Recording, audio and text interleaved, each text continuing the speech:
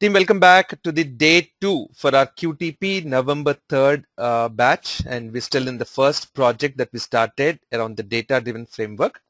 So before I start with the actual training program, let me give you a very, very quick high-level answers to some of the common questions that came up to me some time back.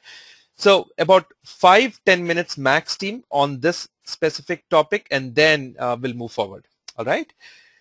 So what I wanted to convey is at the high level that these were the typical questions that a lot of people have asked. I'm not going to read through the questions, but I'll go through each of them uh, at a brief length.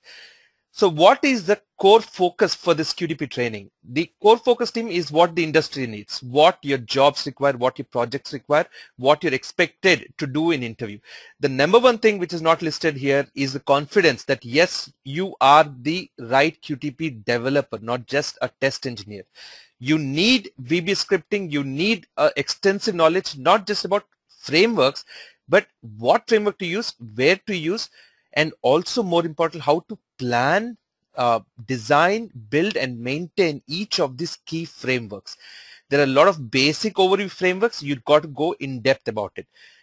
Then comes your descriptive programming. We also develop an entire uh, keyword driven framework purely on that and the advanced concepts like how do we work with databases mercury device replay uh, xml based testing .NET Factory, many other various combinations of how you work with different dynamic applications and so on.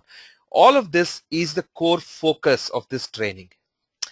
There is no specific prerequisite as you would expect, but yes, I would want you to be a little patient because there is a starting curve.